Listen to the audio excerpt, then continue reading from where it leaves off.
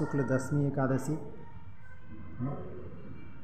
Calendar, नया वर्ष 2023 का आगाज़ हो चुका है। इस वजह से आज गायत्री माता का मंदिर, आतिया तालाब, झांसी शक्तिपीठ दिन में पट बंद नहीं हुए हैं और दर्शन आज दिन भर होते रहेंगे।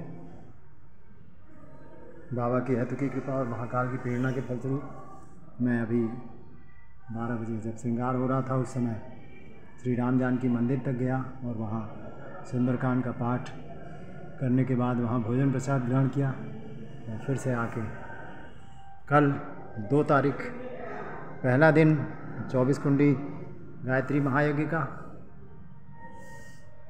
कल कलश यात्रा। उसके बाद तीन तारीख, चार पाँच, तीन दिन। हवन होंगे। उसके बाद पाँच तारीख को पूर्णाहुति और ये देखिए, लोग अपना काम करते हुए, ये यज्ञशाला पुरानी, जिसमें कि रोज़ दैनिक हवन होता है।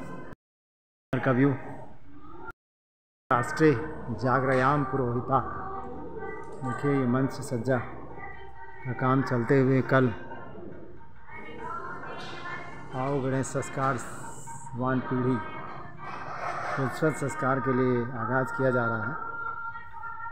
ये वैसे तो पुराना दो दिवसीय पाँच दिनों की सम्मिलित प्रशिक्षण कार्यशाला का बोर्ड लगा है और ये पूरा यज्ञशाला यहाँ से लेके यहाँ तक ये उसके बाद यहाँ से फिर ये घूम के इधर गया है और ये गुप्ता जी कुछ काम करते हुए बिजली का मंच तैयार करते हुए और ये सीनिक व्यू यहाँ से।